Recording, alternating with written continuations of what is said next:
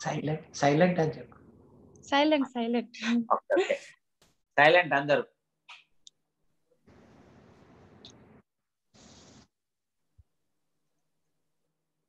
Start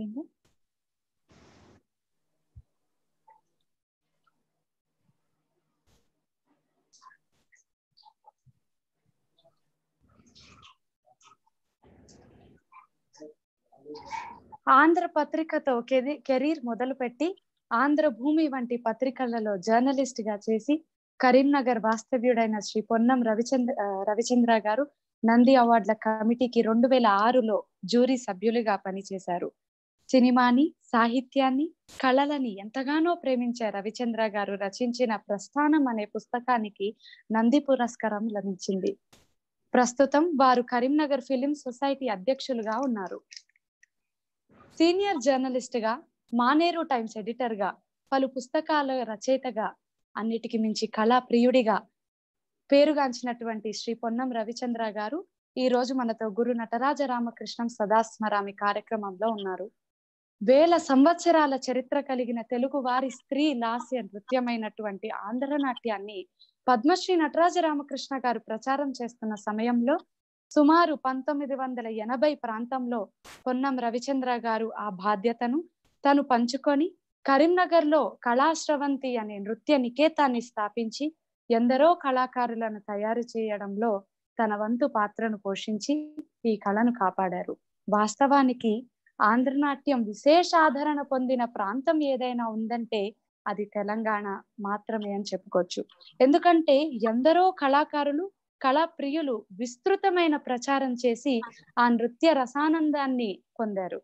Ponnam Ravichandra గారు నృత్య కళాకారులు కాకపోయినా పద్మశ్రీ నటరాజ రామకృష్ణ గారిపై గౌరవంతో తెలుగు వారి కళలైనటువంటి ఆంధ్రనాట్యాన్ని మరియు పేరిణి శివతాండవాన్ని ఆదరించి ప్రోత్సహించి అనేకమైనటువంటి వ్యాసాలు మానేరు టైమ్స్లో రాసి విస్తృతమైన ప్రచారం చేసి కళని కాపాడారు వారే వీరు.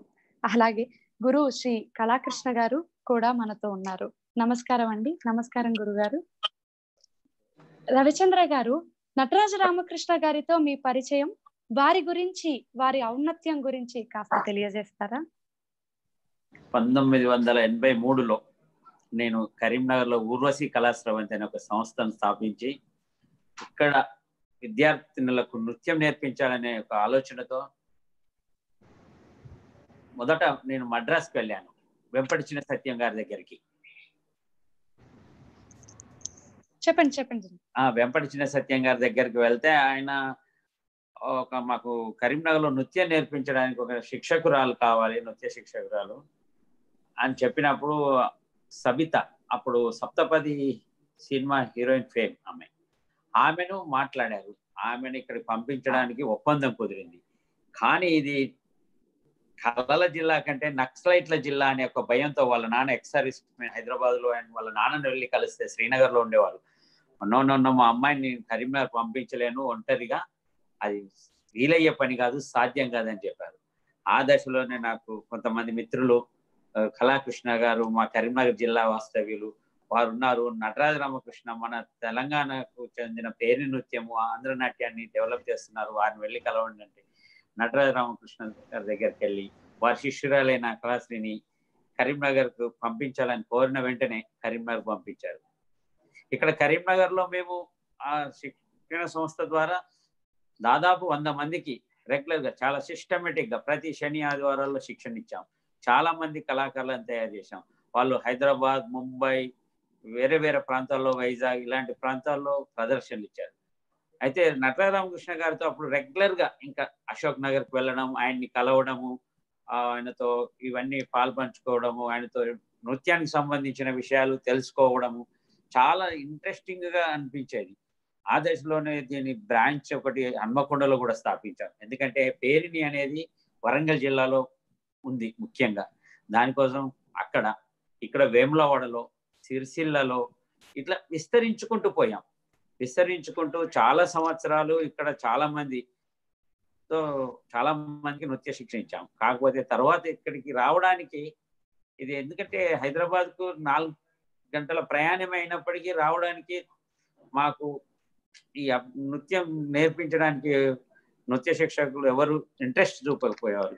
దాంతో ఈ పిల్లలు కూడా చాలా మంది చదువుల నిత్యం హైదరాబాద్కి వెళ్ళి అక్కడే మాస్టర్ గారి దగ్గర నేర్చుకోవడం మొదలుపెట్టారు.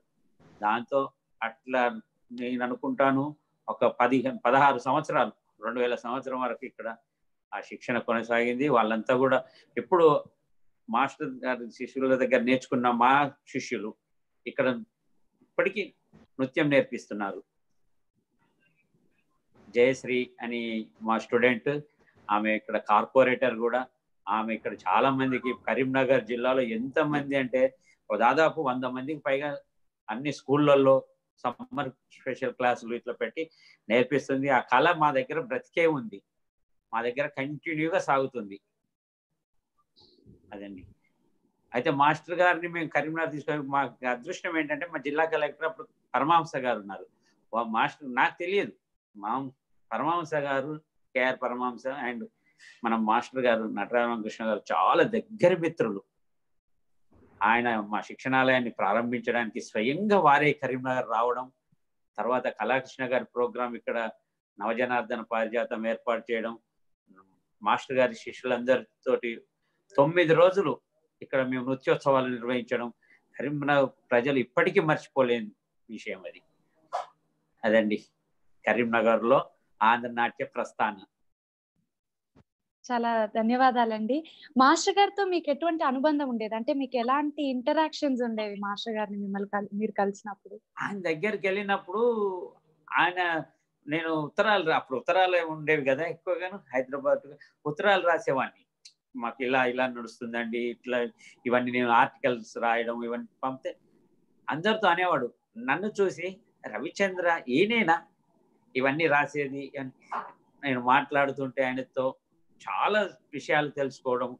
ఆయన పుస్తకాలు అన్నిట్లో చూడండి మా ఊరసి కళా సంస్థ సంస్థ పేరు వేసి ఉంటుంది బ్యాక్ సైడ్లో ఆయన ఎందుకంటే చాలా మంచి మాకు గుర్తింపునిచ్చి మాకు ప్రోత్సహించేవాడు. వెళ్ళినప్పుడు ఎలా ఉన్నారు ఏంటి? అక్కడ భోజనం కూడా చేసేవాడిని అశోక్ నగర్లో. ఇక కళాకృష్ణ గారు అయితే మా జిల్లా వారు మాకు ఎప్పుడు వెళ్ళినా ఏమైనా అని ఇంతకు ముందు కూడా అంటున్నారు హైదరాబాద్ రావడం లేదా? మా దగ్గర కలవడం లేదని. మాస్టర్ గారు ఈ ఆంధ్ర నాట్యాన్ని అయితే నాకు ఒక్క బాధ ఉండేది. ఎంత కష్టపడుతున్నారు దీనికి ప్రభుత్వం నుంచి ఎలాంటి సహకారం లేదు ఏంటి? ఈ నృత్యాన్ని అందరూ మన తమిళనాడు చెందిన భరతనాట్యం ఆంధ్రకు చెందిన కూచిపూడి వీటి వైపే అందరూ. క్లాసికల్ డ్యాన్స్ అనగానే కూచిపూడి భరతనాట్యం. నాకు అదొక్కటి కొంచెం ఎప్పుడు నేను అనుకునేవాడిని. తప్పకుండా ఈ నాట్యానికి మన ప్రాంతంలో గుర్తింపు వస్తుంది వస్తుంది అని. అది ఆ ఈ రోజు సాధ్యమైంది. ఇప్పుడు కళాకృష్ణ గారు కళాకృష్ణ గారి మీరు శిష్యులైన మీరు ఆ నవజనార్దన పారిజాతాన్ని ఆ లాస్యనార్థమైన ఆంధ్ర నాట్యాన్ని బ్రతికిస్తున్నారు.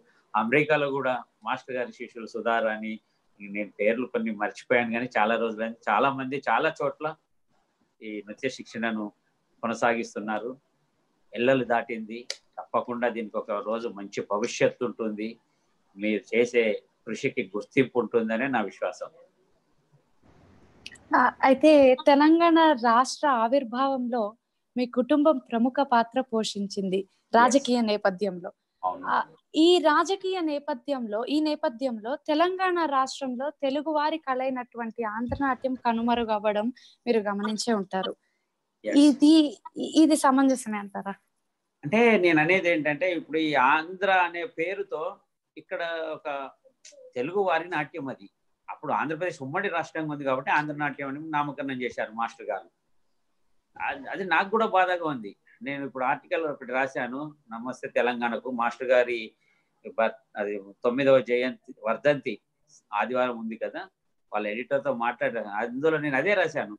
ఏంటి ఆంధ్ర నాట్యం అంటే ఏమవుతుంది? కొన్ని తెలుగు నాట్యం అనండి లేకపోతే లాస్య నర్తనం అనండి. మహిళలు చేసేది మగవాళ్ళు చేసేది శివతాండం అయినప్పుడు ఆడవాళ్ళు చేసేది లాస్య నర్తనం నవజనార్దన పారిజాతం అనండి. ఆంధ్ర అనే వర్డ్ మనకు అభ్యంతరకరంగా ఉంటే తప్పకుండా దీన్ని ప్రోత్సహించాలి. శి- శివతాండవాన్ని ప్రోత్సహించినట్టు ఈ లాస్య నర్తనాన్ని ప్రోత్సహించడానికి ఎందుకు వెనుకం చేస్తున్నారు? నాకు అదే ఉంది. కాకపోతే ఏంటంటే ఇప్పుడున్న పరిస్థితులు తప్పకుండా అప్పుడు నేపథ్యం మేము తెలంగాణ రావడంలో ఎట్లయితే మా కుటుంబం పాత్ర ముఖ్య పాత్ర పోషించిందో అవకాశం వస్తే నాకున్నంత పరిధిలో తప్పకుండా ఈ నృత్యాన్ని వెలుగులోకి తెచ్చేందుకు ప్రయత్నం చేస్తాను. రాష్ట్ర నృత్యంగా గుర్తింపు తీసుకె తీసుకొచ్చేందుకు కూడా నా వంతు కృషి చేస్తాను ఎందుకంటే మన తెలంగాణ నృత్యంగా దీన్ని ఈ రెండు నృత్యాలని ఒక తాండవ నృత్యం ఒకటి లాస్య నర్తనం ఈ రెండింటిని గుర్తించాల్సిన అవసరం ఉంది. మనకంటూ ఒక నృత్యం మనకంటూ ఒక పువ్వు మనకంటూ ఒక జంతువు ఇవన్నీ పెట్టుకున్నాం. అట్లా నృత్యం కూడా పేరుని శివతాండం ఒక్కటే కాదు కదా. ఇప్పుడు ఎంతమంది మహిళలు ఇక్కడ నేర్చుకుంటారు? ఏం నృత్యం అంటే ఏం చెప్తారు? ఆంధ్ర నాట్యం అంటే చులకన భావన. ఎందుకు ఆ చులకన భావన? తెలుగువారి నాట్యం అది. మన దాదాపు మూడు వేల సంవత్సరాల క్రితం నుంచి దేవదాసీలు అప్పుడున్న పరిస్థితుల్లో వాళ్ళంతా నృత్యం చేసారు ఇప్పుడు కాలం మారింది కాశ్మీర్ వచ్చింది చాలా చిత్రాల్లో భరతనాట్యం అనేది మన నృత్యం ఆన్ తమిళనాడు వాళ్ళు చేసే నాట్యం మనకు ఇంపు మన తెలుగు వాళ్ళు చేసేది బాగుండదు అంటే పేరును బట్టి చేయడం. అసలు నవజనార్దన పారిజాతం చూస్తుంటే మై మర్చిపోవచ్చు అండి అది ఏంటి ఆ నృత్యం? దాంట్లో ఎంత ఆ అభినయం కానీ అవన్నీ అసలు చాలా నేను చూస్తున్నది అలాగే చూ కూర్చుండిపోతాను ఎవరైనా ఎంత పామరుడైనా సరే. ఆ నృత్యంలో అంతటి గొప్పతనం ఉంది. కాదంటారా కళాకృష్ణ గారు? మీరు అసలు మీరు భామ కలాపం ఆడితే చూడాలి.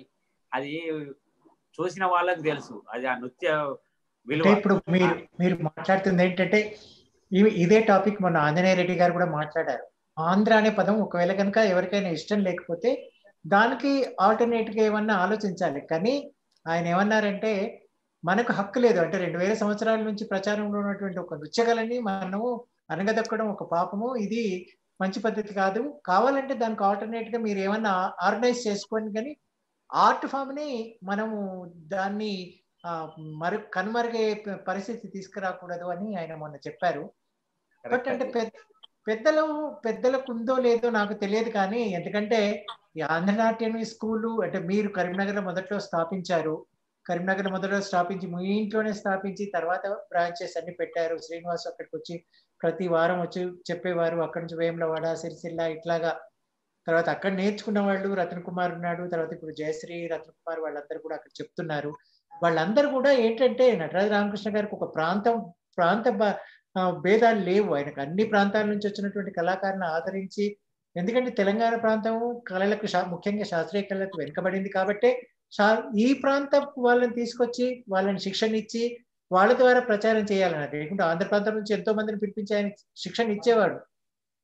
ఈ ప్రాంతం వాళ్ళైతే దీన్ని పట్టుకుంటారు దీన్ని ప్రచారం చేస్తారని మా కరీంనగర్ జిల్లా కానీ మెదక్ జిల్లా కానీ ఇంకా ఇతర జిల్లాల నుంచి వచ్చిన వాళ్ళందరినీ కూడా ప్రోత్సహించారు. కానీ అంటే అప్పుడు రాష్ట్రం వేరు పడుతుందని ఆయన ఆలోచించలేదు.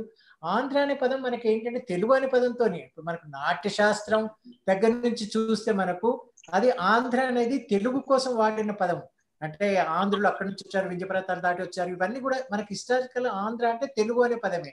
కాకపోతే ఒక ప్రాంతానికి దీన్ని అన్వయింపచేసి అంటే కొన్ని రాజకీయ పరిస్థితుల వలన ఆంధ్ర ఆ, ప్రాంతం వలన తెలంగాణ అనగదొక్కబడిందంటే కొన్ని నిజాలు లేకపోవచ్చు ఉన్నాయి.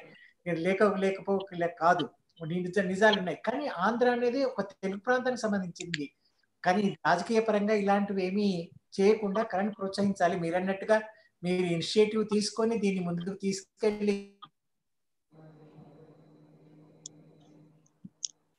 దాన్ని అంటే మీకున్నటువంటి ప్రజల తరఫున కానీ రాజకీయ పరంగా కానీ మీకున్నటువంటి పలుకుబడిని ఉపయోగించి దీన్ని మళ్ళీ మనం అభివృద్ధి చేయొచ్చు. ఎందుకంటే మీ ద్వారా అంకురించినటువంటి ఈ విద్య మళ్ళీ మీ కళ్ళ ముందే మరుగున పడిపోకుండా మీ అంత సహాయం. చేయాలి.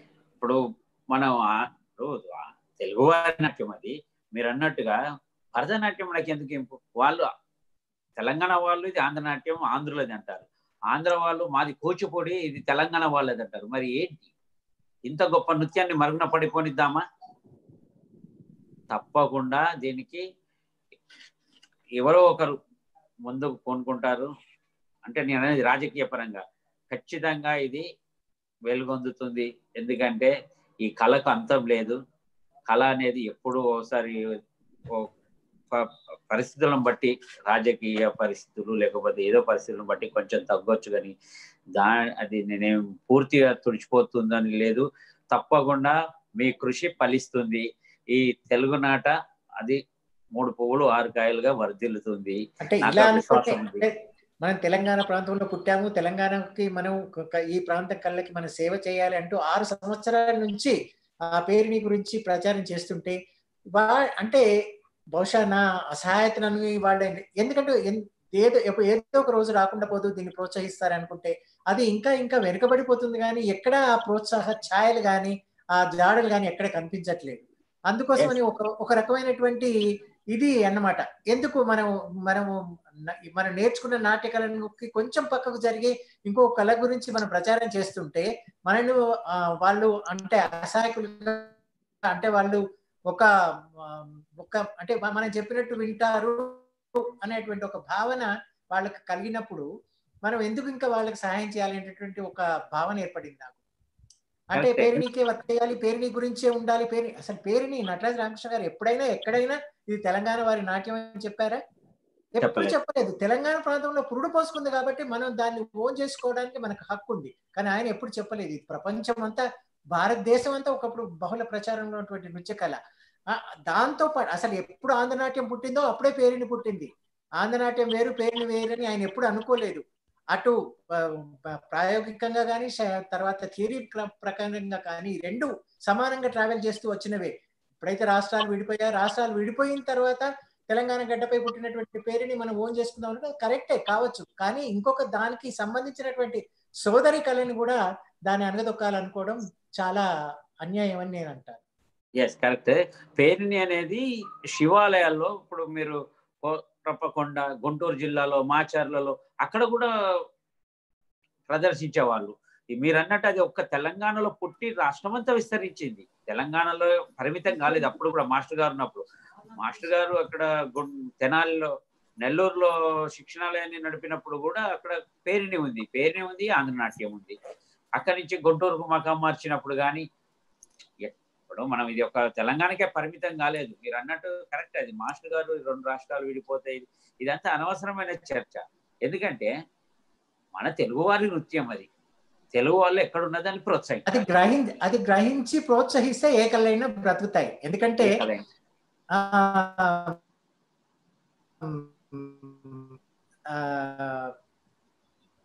పేరిడి పేరిని అన్నట్టు రెండు ఒక కళ్ళు. అవి రెండు ఆయన కళ్ళు. అంటే ఆయనది ఒక పార్ట్ పనికొస్తుంది కదా ఇంకొక part- ఒక శరీరంలో ఒక భాగం పనికొస్తుంది రెండో భాగం పనికిరాదు అనుకోవడం కూడా అంత అది కాదు.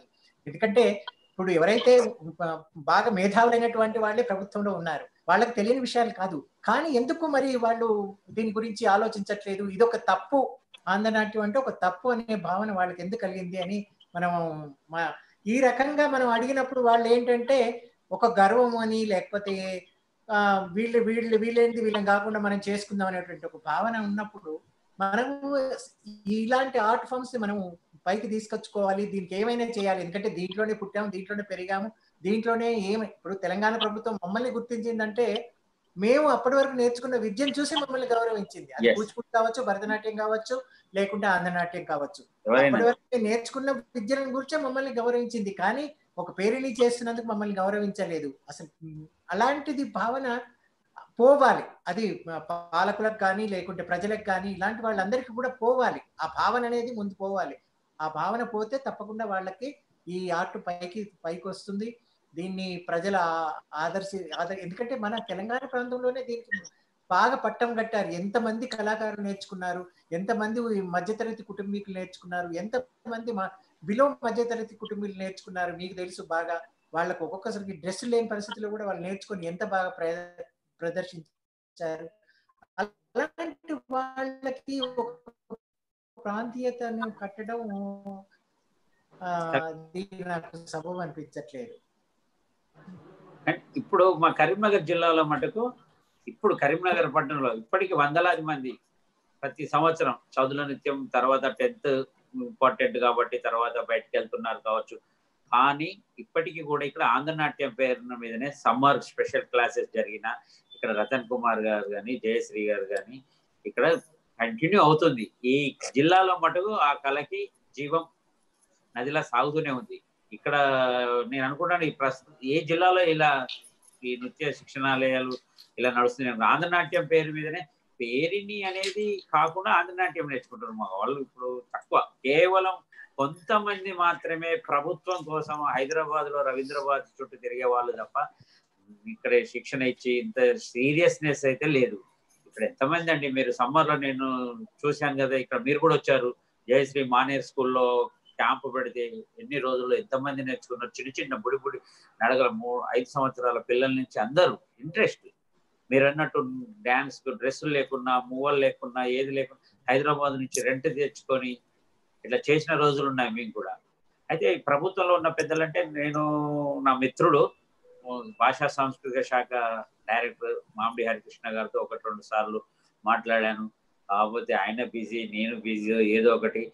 తప్పకుండా దీన్ని మనం ముఖ్యమంత్రి గారి దృష్టికి తీసుకెళ్ళాలి.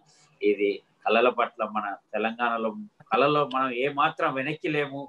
మనకంటూ ఒక నృత్యం ఉంది. మనకంటూ ఒక ఏ పేరుని ఎలా ఉందో ఈ ఆంధ్రనాట్యం అసలు ముఖ్యమైనది. లాసినర్థం నృత్యం అంటే జనరల్గా ఆడవాళ్ళు చేసే నృత్యానికి ఎక్కువ గుర్తింపు వస్తుంది. చిత్రం ఏంటంటే దాన్ని పక్కన పెట్టి పేరునికి ఇంపార్టెంట్ ఇస్తున్నారు. ఇంపార్టెన్స్ కాకపోతే మనం చెప్దాము. తప్పకుండా ఇప్పుడు మన అంటే ఈ నేను ఈ విషయం మీ దగ్గర ఎందుకు ప్రస్తావన తీసుకొస్తున్నా అంటే మొదటిసారి ఆంధ్రనాట్య నిజామాబాద్లో స్టార్ట్ చేసిన తర్వాత రెండో ఇన్స్టిట్యూషన్ మీ ద్వారా కరీంనగర్ జిల్లా. అంటే అటు నిజామాబాద్లో ఎంత ప్రచారం ఏందో అంతటి సమానమైన ప్రచారం కరీంనగర్ జిల్లాలో జరిగింది. కాబట్టి ఈ విషయం మీ మీ ద్వారా కూడా అంటే ఇప్పుడు కాస్త మీకు అన్ని రకాల శక్తి ఉంది కాబట్టి మీరు కాస్త ముందుకు తీసుకెళ్తారు ముందడుగు వేస్తారనే ఉద్దేశంతో నిజామాబాద్లో జయ ఇక్కడ భీమన్న ఆదిలాబాద్లో కరీంనగర్లో కళాశ్రీ ఇలా అన్ని జిల్లాల్లో ఒక్కొక్కరు ఒక్కొక్కరు ఈ నృత్యాన్ని ముందు తీసుకెళ్ళారు. ఆ వారసత్వం మటుకు మా కరీంనగర్లో కొనసాగుతుంది. మరి నిజామాబాద్లో ఇప్పుడు చెప్తున్నారో లేదో తెలియదు. ఆదిలాబాద్లో తెలియదు. జగిత్యాల్లో కూడా నడుస్తున్నది. ఇప్పుడు ఇక్కడ అది అట్లా అంతటా అందరూ పూనుకొని మాస్టర్ గారి శిష్యులు తప్పకుండా ఈ నాట్యాన్ని మనం ముందుకు తీసుకెళ్ళాలి అనుకుంటే డెఫినెట్గా అందరూ చేస్తుంటే ప్రభుత్వం ఏం చేస్తుంది? అరే ఇది ఎక్కువ ప్రాంతాల్లో ఇదే నృత్యం కొనసాగుతుంది కాబట్టి మనం ముందుకు తీసుకెళ్దాం అనుకుంటారు. కాకపోతే మీరు అన్నట్టు నేను తప్పకుండా నా వంతు కృషి మటుకు నేను చేస్తాను. నేను నా లెవెల్లో నేను దృష్టికి తీసుకెళ్తాను. నాకున్న రూట్ అయితే మన భాషా సాంస్కృతిక శాఖ డైరెక్టర్ మాంబి హరికృష్ణ గారు వారికి నేను చెప్పాను. లేకపోతే ఒకటి రిప్రజెంటేషన్ పూర్వకంగా మీరు అందరు కలిసి ఇవ్వండి. నేను దాన్ని ఫార్వర్డ్ చేపిస్తాను. అట్లా చాలా రిప్రజెంటేషన్స్ ఇవ్వడం జరిగింది. త్రో త్రో నేను నేను స్వయంగా తీసుకెళ్తాను. నేను తీసుకెళ్తాను. ఆయన మాట కాదన్నారనే విశ్వాసం నాకుంది.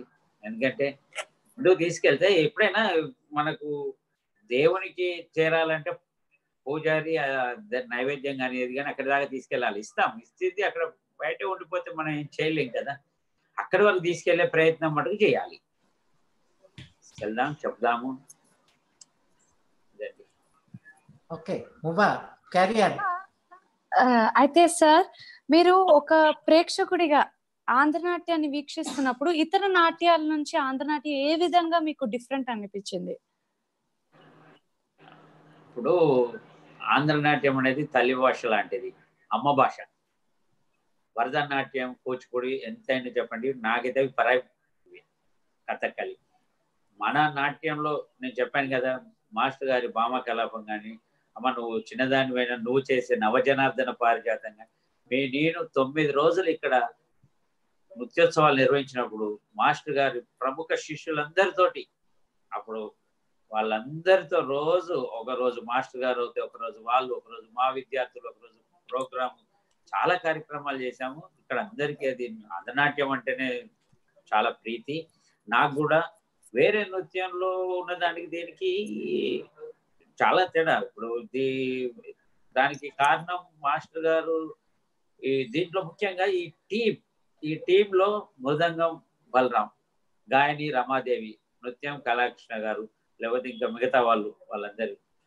ఈ చక్కటి ఒక జోడి అంటే ఒక బృందం ఏర్పడింది. దాంతో చూస్తుంటే మయం మర్చిపోయేటట్టుగా చాలా బాగుండేది. నాకు కూచిపూడి చూశాను భరతనాట్యం చూశాను కథక్కళి చూశాను మోహిని అట్టం ఇలాంటివన్నీ చూసాం ఎవరిది వాళ్ళకు నచ్చుతుంది అంటారు నేను చెప్తే ఇప్పుడు. కాకుండా తప్పకుండా మన దాంట్లో లాస్యనార్థనము చాలా చక్కగా ఉంటుంది. అన్ని. పేరుని శివతాండవం అనేది అది శివుణ్ణి ఆవహించేదో కాసేపు వీర ఉగ్ర రూపంగా ఉంటుంది తప్ప దాంట్లో మనల్ని అది శివరాత్రులకు అది అట్ల పనికి వస్తుంది. మనల్ని సంతోషపెట్టడానికి ఎప్పుడైనా క్లాసికల్ క్లాసికల్. ఇప్పుడు క్లాసికల్ డ్యాన్స్ అంటే పేరుని రాదండి. పేరుని క్లాసికల్ కిందకి ఎట్లా చేస్తారు మాస్టర్ గారు క్లాసికల్ అంటేనే ఆంధ్రనాట్యం. నా దృష్టిలో పేరుని అయితే కాదు. అంటే అప్పుడు ఆయన ఆయన ఒక వృద్ధుతమైనది వీరరస ప్రాధాన్యత కలిగింది మగవాళ్ళు చేయాలి మగవాళ్ళే చేయాలి అనేటువంటి ఒక భావంతో ఆయన దాన్ని పునర్నిర్మాణం చేశారు. అంటే రీకన్స్ట్రక్షన్ చేశారు. దాన్ని అంటే మనం మారుతున్నటువంటి కాలానికి దానికి కొన్ని అనుగుణంగా చేసి మనం మార్చు కానీ ఉన్న రూట్ను చెడగొట్టేసేసి అది మనది అని అనుకోవడం అంటే దానికి అంటే ఇప్పుడు అది మనది పేరుని మన తెలంగాణ ప్రాంతంది అనుకున్నప్పుడు దానికి కావలసినటువంటి సెమినార్స్ కానీ దానికి కావలసినటువంటి నిష్ణాతులను కానీ కూర్చోబెట్టి ఇది ఏంటి ఇది ఇది మనది మనది అవ్వడానికి చారిత్రకం ఏంటి శాస్త్రాలు ఏంటి శిల్పకళ ఏంటి ఇవన్నిటిని కూడా చర్చించి దానికి ఒక పద్ధతిని చేసి దాన్ని పైకి తీసుకురావాలి కానీ ఉన్నదాన్ని అడుగు తొక్కేసేసి లేని దాన్ని పైకి తీసుకొచ్చి తీసుకొద్దామని లేనిది కూడా పైకి తీసుకురావాలి. కాదని నేను అన్నట్టు ఎందుకంటే దానికి కూడా నేను వర్క్ చేస్తున్నాను కాబట్టి కాకపోతే ఏంటంటే దానికి కావాల్సినటువంటి నిరూపణ జరగాలి. అంటే నేను కేవలం నటరాజ రామకృష్ణ గారు ఒక్క శిష్యుడు ఇద్దరు శిష్యులు కాదు. ప్రపంచంలో ఉన్నటువంటి స్కాలర్స్ అందరిని మెప్పించాలి. ఇప్పుడు ఎంతో మందిని మెప్పించి ఎంతో మంది చేత కొంతమంది చేత క్రిటిక్స్ పొంది ఎంతో మంది చేత అవును అనిపించుకొని శబాస్ అనిపించుకుంటేనే ఈ యాభై సంవత్సరాల్లో ఆంధ్రనాట్యం ఈ మాత్రం నిలవగలిగింది. ఇప్పుడు మనం మొదట్లోనే ఉన్నాము. దాన్ని ద- ప్రజ మందికి దీన్ని తీసుకెళ్ళాలి. పది మందిలో ప్రచారం చేయాలి. దానికి కావలసిన అంగులు ఏంటి శాస్త్రం ఏంటి ఇవన్నీ ఏంటి అని చర్చించాలి. అందరు మేధావులు ఒప్పుకోవాలి తర్వాత శాస్త్రజ్ఞులు ఒప్పుకోవాలి. ఆ పనులు చేయకుండా ఉన్నదాన్ని అణగదొక్కడం కాదు. అది ఇంకొక పక్క అది ప్ర- దాన్ని అభివృద్ధి చేయాలి. దీన్ని కూడా పోకుండా కాపాడుకోవాలి. రెండు రెండు పనులు కూడా అంటే ప్రభుత్వం కొంతవరకు చేస్తుంది. తర్వాత మిగతా వాళ్ళందరూ కూడా దీనికి సహాయం చేయాలి. మనమందరం కూడా దానికి కలిసికట్టుగా ప్రయత్నం చేయాలి. కానీ ఇప్పుడు ఏంటంటే పాలకులే మనకు రాజులు అన్ని. అంటే ఇప్పుడు చూసే వాళ్ళందరికి ఎట్లా ఉంటుందంటే నటరాజ రామకృష్ణ గారి ఆర్ట్ ఫామ్ ఒకటేనా ఇంకొకటి లేదా? ఎందుకు ప్రభుత్వం దీని మీదనే దృష్టి పెట్టారు? దీని మీద ఎందుకు దృష్టి పెట్టట్లేదు? కేవలం ఆంధ్ర అనే పదం ఉంది కాబట్టే ఇలా దొక్కుతున్నారా ఇలాంటి భావన ఇలాంటి ఒక మెసేజ్ మళ్ళీ ప్రభుత్వ పాలకులకు వెళ్ళకూడదు కదా. అయిపోయింది. ఆ గొడవలన్నీ అయిపోయి అవన్నీ అయిపోయాయి. అయిపోయిన తర్వాతనే మనకు రాష్ట్రం వచ్చింది. మనం మనం మనది మనకు ఉంది మనం చేసుకుంటున్నాం. కానీ ఒక ఆర్ట్ ఫామ్ అంటే ఇప్పుడు ఒక అన్ని ఆర్ట్ ఫామ్లకి మన తెలంగాణ ముఖ్యం మన తెలంగాణ పీఠ. ఎందుకంటే కాస్మోపాలిటన్ సిటీ ఇది. ఇక్కడ అన్ని ప్రాంతాల వాళ్ళు ఉన్నారు అన్ని కళలు బ్రతుకుతున్నాయి అందరు కళాకారులు ఉన్నారు. అలాంటప్పుడు కేవలం ఒక్క ఆంధ్ర అనే పదం ఉన్నప్పుడు ఆ కళాకారులు ఎందుకు పనికిరారు అనేదే ఇప్పుడు ముఖ్యమైనటువంటి ప్రశ్న. కరెక్టే. ఇప్పుడు దాని మీదనే రెండు రాష్ట్రాలుగా విడిపోయినా మనం అంతా కలిసే బ్రతుకుతున్నాం. వాళ్ళు ఇక్కడ ఉన్నారు మన వాళ్ళ అన్ని విషయాల్లో కలుస్తున్నాము అన్ని విషయాల్లో వాళ్ళతో సంబంధాలు పెట్టుకుంటున్నాం. రాజకీయంగా కానీ వ్యక్తిగతంగా కానీ అన్ని ఉన్నాయి. ఇంకా ఎందుకు? ఒక్క నృత్యం మీదనే ఎందుకు ఇంత అక్కసు? నాకదే అర్థం కాదు.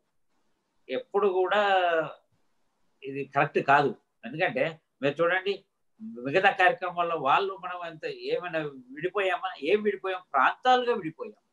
భాష విడిపోలేదు. వాళ్ళది వేరే భాష కాదు మనది యాసలు ఉన్నాయి. యాసలు వేరైనా భాష తెలుగే. అట్లాగే ఆంధ్ర అనేంత వర్డ్ను మనం వాళ్ళు ఇప్పుడు ఎవరు చెప్పుకుంటారు? ఇప్పుడు మాస్టర్ గారు నిన్న నేను ఆర్టికల్ రాస్తుంటది ఆంధ్ర నాట్యము ఆంధ్రప్రదేశ్కి అకాడమీ చైర్మన్గా ఆ వర్డ్ రాయాలంటే నాకు కూడా ఏమో పత్రికల వాళ్ళు ఆంధ్రప్రదేశ్ అంటే వేస్తారా వేయరా? ఆనాటి ప్రభుత్వం లేదా ఉమ్మడి రాష్ట్రం అలా రాయాల్సిన పరిస్థితి వచ్చింది. కానీ అది కరెక్ట్ కాదని నా అభిప్రాయం. ఈ రాష్ట్రం భారతదేశం మనది మొదట. భారతదేశంలో ఆయా ప్రాంతాలు ఆయా నృత్యాలు అక్కడి ప్రాంత పరిస్థితులు అక్కడి వాళ్ళ అలవాట్లు యాసలు అన్ని వేరువేరుగా ఉన్నంత మాత్రాన మనం విడదీసి చూడడం మటుకు కరెక్ట్ కాదు. చెప్పమ్మా మువ్వా అదే అండి. ఇప్పుడు ఒకటే ప్రశ్న. అంటే ఆంధ్ర అన్న ఒక్క పదం ఉన్నందుకు రాష్ట్రం ఏర్పడాక మరి ఒక్క ఒక్కసారి కూడా ప్రోత్సహించకపోవడం న్యాయమా అనేది నా ప్రశ్న. నేను గమనించాను. ఎట్లా పో- అంటే నువ్వు రవీంద్ర భారతి వేదికగా ఎంత ప్రయత్నం చేసినా నీకైతే ప్రోత్సాహం లభించలేదని అనుకుంటాను. ఆ అమ్మ నాకు మిత్రురాలు మా ఫ్యామిలీ ఫ్రెండ్ వెంకటేశ్వర్ గారు. ఎన్ని రోజుల నుండి తన తాపత్రయం తను నిన్ను తీసుకొచ్చి మాస్టర్ గారి ఆశయాన్ని సాధించాలని మాస్టర్ గారు ప్రవేశపెట్టిన తీసుకొచ్చిన గుర్తింపు. ఇది బౌ ఆంధ్రనాట్యం ఇప్పుడు లేదు బౌద్ధ కాలం నుండి ఉంది ఆంధ్రనాట్యం ఇప్పుడిప్పుడు ఏదో మాస్టర్ గారే సృష్టించారనేది కాదు. సృష్టించింది కాదు మరుగున పడిపోయిన కళను బయటికి తీసుకొచ్చారు. రెండు కళలను తీసుకొస్తే ఒకదానికి ఏమో గుర్తింపునిస్తున్నారు ఒకదానికి సవతి ప్రేమ చూపిస్తున్నారు అంతే అసలు ఇదైతే ఇలా కూడా అడిగాము. మీరు ఇంకొక దాన్ని బాగా ప్రోత్సహించండి కానీ సవతి సవతి పిల్లల్ని చూసినట్టయినా చూడండి అనే మాట కూడా మేము అధికారుల దగ్గర మాట్లాడాం. కానీ నేను- సవతి నేను పిల్లల్ని గమనించాను కనీసం తెలంగాణ అధికారులు కానీ ఎవరు కానీ ఎక్కడో ఉన్న రోజా వచ్చి ఇక్కడ వేదిక మీద నృత్యం చేసి పాలు పంచుకున్నది కానీ ఇక్కడ ఉన్న వాళ్ళు పాలు పంచుకోవడం లేదు. అది చాలా బాధాకరం. నేను చూసి గెస్ట్గా కూడా రాలేని పరిస్థితుల్లో ఉన్నారు ఈ కార్యక్రమాలకి. అది ఒక హైదరాబాద్ వరకే. కరీంనగర్ అలాంటి పరిస్థితి ఏం లేదండి. చూద్దాం. మీలాంటి వాళ్ళు అందరూ ఉన్నారు కాబట్టి దీనికి తప్పకుండా కరీంనగర్లో ఈ నృత్యాన్ని ముందు తీసుకెళ్తాము.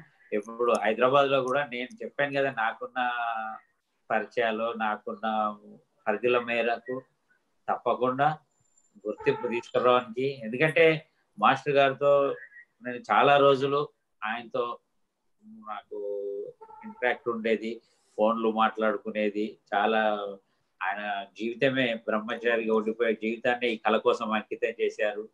చివరికంటూ ఆయనకున్నవి కూడా చివరికి ప్రభుత్వానికి అప్పచెప్పాడు. అన్నీను ఆయనకు వాళ్ళ కుటుంబం ఎలాంటిది? వాళ్ళు ఇక్కడి నుంచి వెళ్ళి ఆ మన బాలిలో వలస వెళ్ళి అక్కడి నుంచి మళ్ళీ నాగపూర్ వచ్చి నాగపూర్ నుంచి ఆంధ్రాకు వచ్చి ఎందుకు ఇవన్నీ నాగపూర్ నుంచి ఆంధ్రకు వచ్చి వాళ్ళ నాన్న వద్దని వారించిన నృత్యం నేర్చుకొని మనం ఒకరికి నృత్యాన్ని కళలను పోషించాలి కానీ మనమే నాట్యం ఆడకూడదన్నా వినకుండా నాట్యం నేర్చుకొని ఆయన ఇవన్నీ కనీసం ఇవన్నీ ఆయన ఆత్మాన శాంతిస్తుంది ఆంధ్రనాట్యానికి గుర్తింపు వస్తే పేరునికి రావండి వాళ్ళు. పేరుని రెండు రెండు కళ్ళలాగా చూసుకోవాలి. అప్పుడే మాస్టర్ గారు ఆత్మ శాంతిస్తుంది ఒక నృత్యాన్ని పేరునే ప్రోత్సహిస్తే ఆయన నేను అనుకుంటాను ఆయన ఏం సంతోషించడం లేదు. ఆయన జయంతులు చేసిన వర్ధంతులు ప్రభుత్వం నుంచి చేసిన మీలాంటి వాళ్ళని సత్కరించిన ఎంతమందిని గౌరవించిన ముఖ్యంగా ఆంధ్ర నాట్యానికి గుర్తింపునిచ్చినప్పుడే దానికి ఒక ఫలితం ఉంటుంది. మాస్టర్ గారు మీకు ఇంకా క్వశ్చన్స్ ఉన్నాయండి? ఇంకేం లేవు అన్ని చెప్పేసేసారు. అది చాలా ధన్యవాదాలు రవిచంద్ర గారు.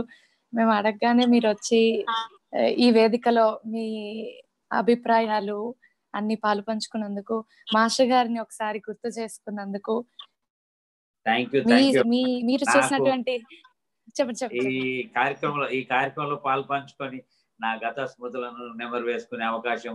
నేను నాకు బాధ్యత ఉంది. ఇప్పుడు మాస్టర్ గారు కళాకృష్ణ గారు చెప్పినట్టు తప్పకుండా నా శక్తి కొద్దీ ఈ నృత్యాన్ని ఇప్పుడు కాకపోవచ్చు ఇంకో నాలుగు సంవత్సరాలు కావచ్చు రెండు సంవత్సరాలు కావచ్చు తప్పకుండా గుర్తింపు తీసుకొచ్చేందుకు నా లెవెల్లో నేను ప్రయత్నం అయితే చేస్తాను. వస్తుందనే విశ్వాసం కూడా నాకు ఉంది. నేను ఆశాజీవిని. తప్పకుండా. నాకు ఈ అవకాశం ఇచ్చినందుకు చాలా చాలా ధన్యవాదాలు. నమస్కారం అండి. నమస్కారం నమస్కారం. అమ్మా నువ్వు చాలా ఈ రోజు కష్టపడుతున్నావు. ఈ కార్యక్రమాన్ని తీసుకొని ముందుకు. పోతున్నా చాలా చిన్నదానివి. నాకు కూతురు లాంటి దానివి. ఇంతటి మంచి కార్యక్రమం తీసుకొని ముందు తీసుకుపోతున్నందుకు నీకు అభినందనలు. నీ తాపత్రయానికి నువ్వు ముందు రోజు చెప్పినప్పుడు నాకు చాలా సంతోషం వేసింది. ఈ కార్యక్రమాన్ని ఇన్ని రోజులు నిర్విఘ్నంగా కొనసాగిస్తున్నావు. సెవెంత్ వరకు చాలా విజయవంతమైందని నేను అనుకుంటున్నాను. నేను అన్ని ఎపిసోడ్లు చూడలేకపోయాను ఒత్తిడి వల్ల. తర్వాత తీరికగా కూర్చొని ఇవన్నీ చూస్తాను. థ్యాంక్ యూ థ్యాంక్ యూ అండి. థ్యాంక్ యూ సో మచ్ ఇది ఈ రోజు గురు నటరాజ రామకృష్ణం సదా స్మరామి రేపు పద్నాలుగవ రోజు ఉమామహేశ్వరి గారు మరియు వనజ ఉదయ్ గారితో మళ్ళీ మీ ముంటు ముందుంటాను. అంతవరకు సెలవు. థ్యాంక్స్ అండి రవిచంద్ర గారు గురు